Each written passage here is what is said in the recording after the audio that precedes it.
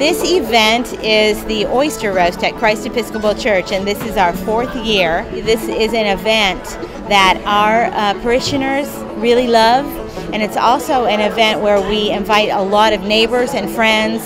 So we've got bouncy houses, we've got face painting, we've got crafts, and great oysters and barbecue as well. We put the burlap on top of it because that makes them steam and that way they don't burn up. A lot of people that are serving oysters don't cut under. You want to cut that, that muscle off the shell and lay it back so that people can easily eat it. We heard that at Guana State Preserve they were starting to rebuild the estuary, and so all of our oyster shells are separated and um, go down to help re-nourish the preserve.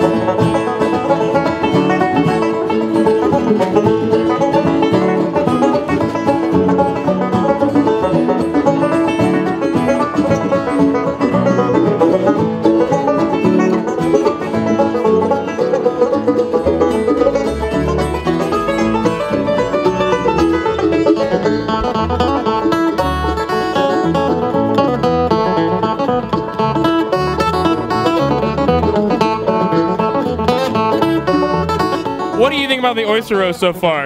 It's fun! This is Church Action News. Quick question. Are you going to get your face painted later? Yes. What are you going to get on your face? A butterfly? A kitty cat. A bunny. Batman. And I'm gonna protect this church, you know? Hoo-ha. And now back to Wallace with Church Action News. This is Action News Christchurch. So, guys, how's the uh, arts and crafts table so far? Uh, the coloring tables are arch nemesis. We're better than them, but they have other opinions. I wouldn't say anybody's better than anybody else. Oh, that's very diplomatic of you. And customers are very happy at every table. So, what is your favorite part about the oyster roast so far today? Um, our mustaches. Our mustaches. Have you guys gone into the bouncy house yet? Yes, sir. They're awesome.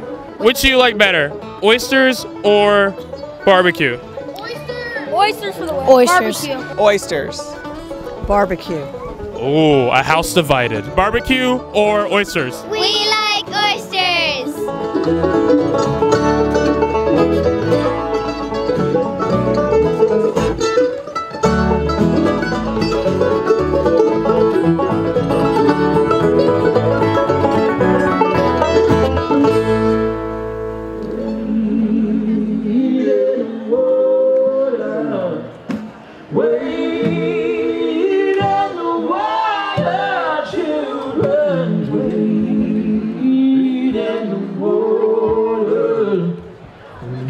God's gonna trouble the water. We're gonna wade in the water.